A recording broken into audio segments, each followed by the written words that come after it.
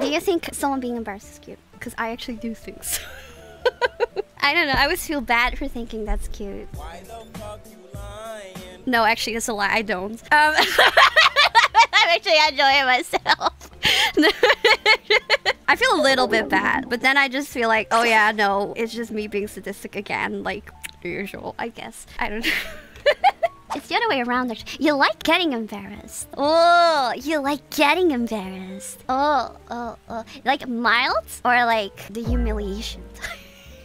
like hardcore public humiliation. Everyone sees how much of a disgusting, dirty loser you are. I guess you just gotta find someone who is good at embarrassing you then. I'm really good at that because I'm actually a professional embarrassment. You need a dommy mommy, really. Everyone says that they want like a dommy mommy, but like, isn't it much more degrading and humiliating by being degraded and humiliated by someone who is a lot smaller than you? like, damn, you're letting yourself get degraded and humiliated by a small girl? Really? That's disgusting. See, I know what's up, okay? I get it. I get it. Don't worry about it. I get it. Easy to correct Roxy if she's that small someone needs to be humiliated and degraded so much that they don't even have an ounce of self-esteem left. Hmm?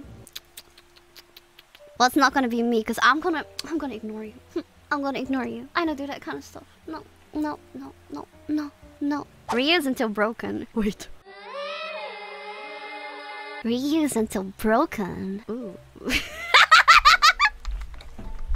no, wait, you know what? Let's just move on or something. I don't know why we're talking about this. Shut up with the gooner allegations. I have no single gooner allegations ever. Ever, ever. No one has ever called me a true gooner. Everyone has just done it as a joke. I haven't seen a Twitlonger about me being a gooner. So, like, there's no gooner allegation.